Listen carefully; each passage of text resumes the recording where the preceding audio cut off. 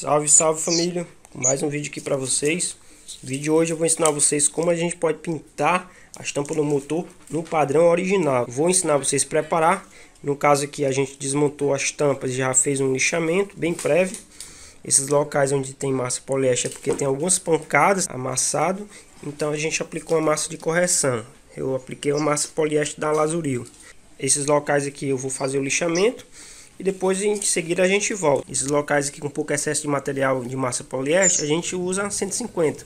Agora nesses materiais aqui onde tem mais material, a gente vai passar um 80. Depois a gente vai refinar 150 e finalizar na 320 todas as três peças.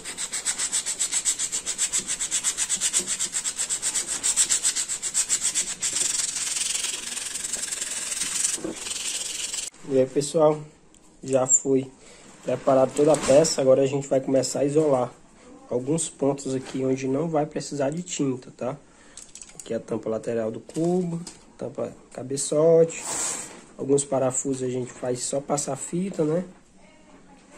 Aqui também, ó, no mesmo caso, a gente passa só a fita no cabo aqui, tá? Então vamos lá. Quando você pegar um local aqui onde precisa de um parafuso como esse, você bota uma fita, ó, e vai batendo ela vai marcando, o martelo vai deixando. Pode ser um martelo, qualquer ferramenta que pega aqui, ó, mesmo na quina, ele vai cortando a fita e deixando o acabamento já pronto. Olha só o acabamento que deixa. O isolamento é perfeito, né? Então, muito mais fácil do que você ficar passando a fita, é, tentando detalhar o local onde você deseja.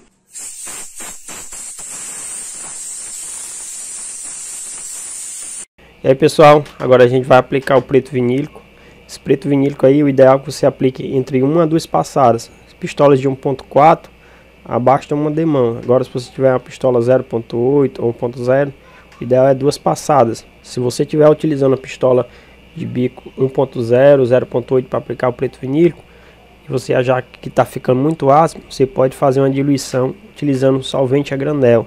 Ajuda na aplicação. Você aumenta um pouquinho da, aumenta um pouquinho a saída de ar também, vai ajudar muito nesse processo. Pouco ar pode ficar muito ácido e se você também usar ar demais, vai ficar é, telha de aranha. No Prime foi aplicado apenas uma demão em todas as peças.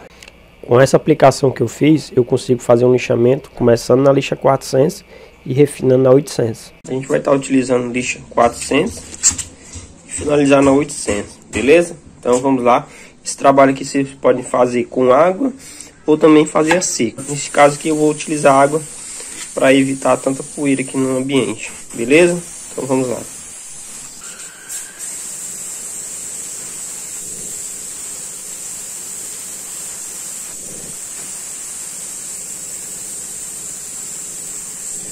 Eu vou aplicar uma demão em todas as peças.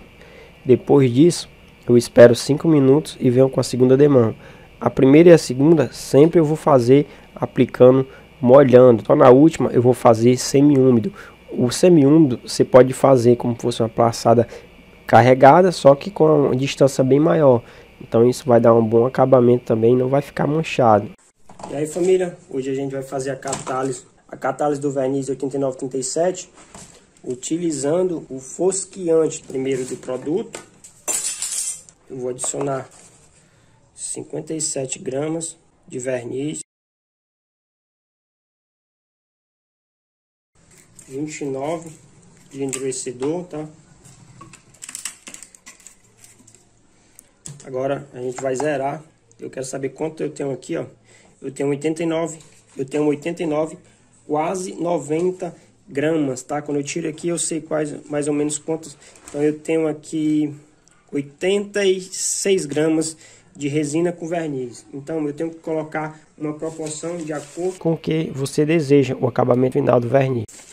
Aqui a gente tem uma tabela, certo? Tô mostrando aqui para vocês. Aqui é para usar nas resinas, esmalte PU, verniz, esmalte sintético, laca, verniz, bicomponente e flat color. É, então, tenho que adicionar 40%. Se eu sei que aqui é Se eu sei que o nosso produto aqui tem 85, eu tenho que adicionar 40%. Então, a gente faz o cálculo e adiciona só o fosquiante. Eu vou adicionar 40% nos 86 gramas que tem de verniz catalisado. Não precisa adicionar diluente depois, só mesmo fosquiante. A pesagem aqui e depois eu volto com vocês. Agora é só misturar eu vou aplicar somente duas passadas, tá? Ele já ficou, ó, um verniz com opacidade mais branca, né? Ele deixou de ser transparente. Então aqui já está pronto para a gente aplicar. Vamos lá.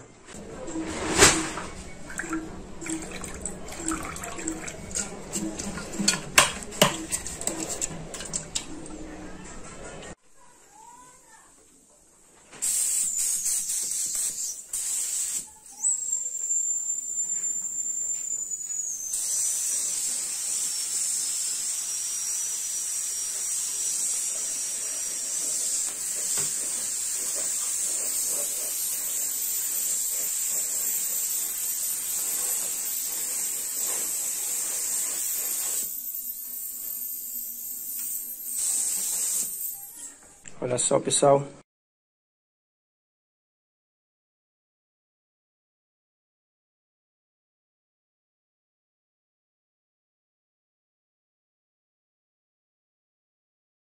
Espero que tenham gostado dessas dicas. Se você gostou, deixa o like, comenta aqui embaixo. Mas olha só, padrão. Esse daqui é o verniz acetinado que ficou. Olha só, na estampa do motor.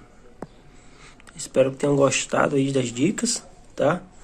Olha só.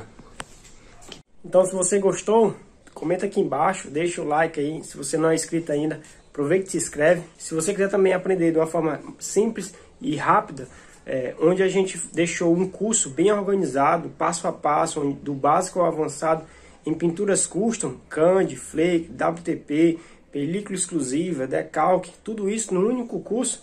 E também você ainda vai aprender também é, preparação de peça, catálogo de produto, fora alguns materiais didáticos que você recebe quando você compra um curso da gente, tá? Então a gente tem um curso de pinturas custo, primeiro link aqui na descrição. Esse curso também tem certificado e você também tem o suporte. O curso é vitalício, você pode acessar quando e onde desejar. Quando a gente lançar conteúdos novos, você vai receber sem nenhum custo adicional. E se você quiser saber mais detalhes ainda do curso, se você tem dúvidas, vai lá no meu Instagram e chama no direct também que a gente vai tirando todas as suas dúvidas, beleza? Tamo junto, um abraço e até um próximo vídeo.